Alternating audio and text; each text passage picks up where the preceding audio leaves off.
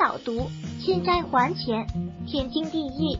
但总有那么一些人，厚着脸面拿着别人的钱游山玩水，享受生活，就是不还债，一副活得心安理得的丑恶嘴脸，人品过不过关，看他还钱的样子就清楚了。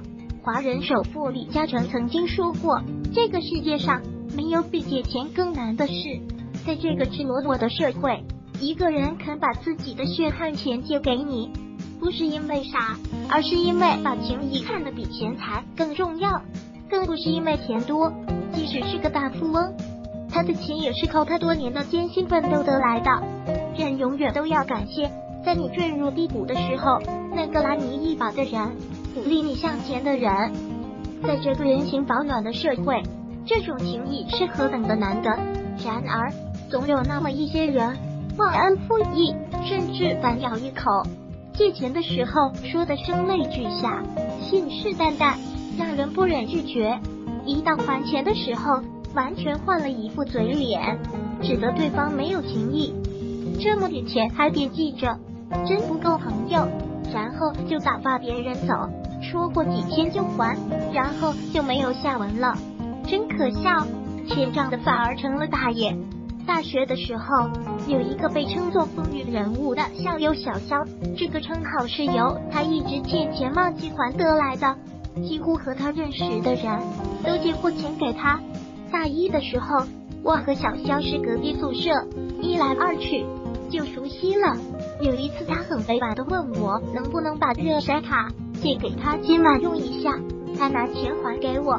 他热水卡没有钱了，他明天就去充。我心想，也就一次，人总有困难的时候，赶紧说没事没事，你拿去用吧，不用还钱了。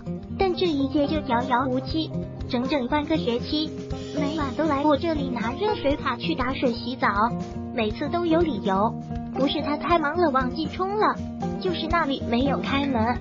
直到我热水卡充的五十元都用完了，他都丝毫没有愧疚感，没有提过他分摊一部分钱的事。五十块对于别人来说可能不多，但对我来说特别多。那一年，我家里的小生意遇到了很大的困难，资金链断裂，一时间连五百元家里都拿不出来。我一个月的生活费仅仅三百元，那是二零一三年的时候，我经常吃白饭才得以生存下去。在那种情况下，我身上真的没有闲钱，没有再去充水卡了，只能和他挑白了，对他说：“我们热水卡各分一半吧。”里面完全没有一毛钱了。他居然全盘否认了，说只用过一两次。后来我的宿友帮忙作证了。他才不情不愿的答应了，隔了一个多星期才还的。当时小肖的生活费每个月一千元，完全没有经济压力，是我的三倍多。后来才得知，小肖一直都是这副德行，从大一被整个宿舍孤立，大家对他都唯恐不及。说好去聚餐 A A 制，大家聚餐过后都自觉把钱还给付款的那位同学。只有他每次吃完后都假装忘记了，而且每次他都吃的最多。大家一提让他还钱的事，他就总是假装转移话题，直到宿舍所有人当着他的面让他必须把钱还了，他才拿钱出来。久而久之，大家都对他恨之入骨。借钱看人心，还钱看人品。一个人只有在利益冲突的时候，才能看出他的真性情。钱果然是个好东西，人品最好的试金石。二十年前，邻居小七向我家借了二百元，那时候两百元是不小的数目。我爸爸当时的工资一个月才三十六元，出于两家交情，我父亲毫不犹豫的借给他应急，但是也嘱咐他两个月之内必须还。我家也是普通家庭，这两百元也是从牙缝里挤出来的，需要这些钱来维持基本的物质生活和人情往来。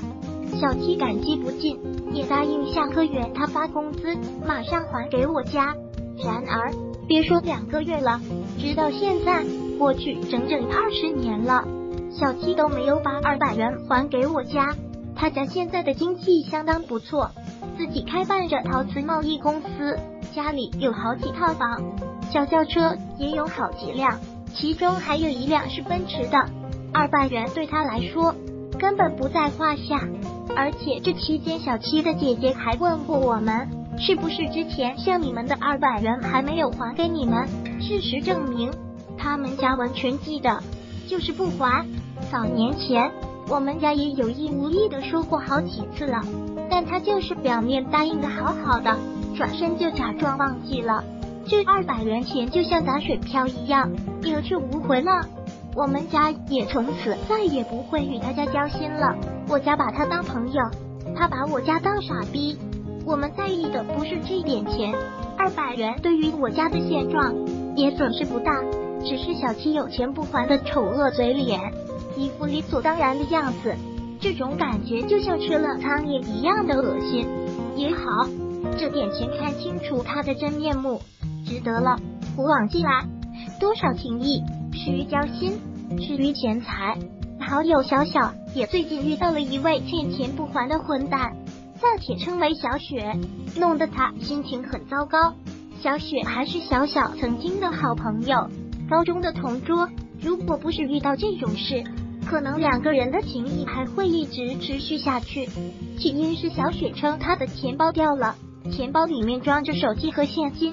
现金是他这个月刚刚发的工资，问小小能不能转给五百元，等他父母给他打钱来，他立马归还。小小考虑到他家境普通，现在又丢了手机和现金，肯定很拮据，加上之前的友谊还可以，就连忙说没事儿，一半年内还清就可以了，你先用着。令人意料不到的是，这一年过去了，小雪还没有把五百元还上。悠悠就委婉向小雪提出五百元什么时候还给他？他们都刚刚毕业，都没有什么钱，他也需要这笔钱来改善一下生活质量。小雪表面答应的好好的，说这两天还，让小小放心，以他俩的交情，不会跑掉的。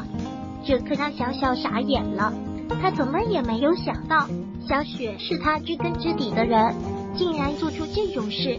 这么不要脸面的事情都做得出来，小小说等放假回去，马上去小雪家找她要钱。既然小雪都做的这么绝情，那他也不需要给小雪脸面了，当着他父母的面拿出证据让他还钱，毁掉一段情谊。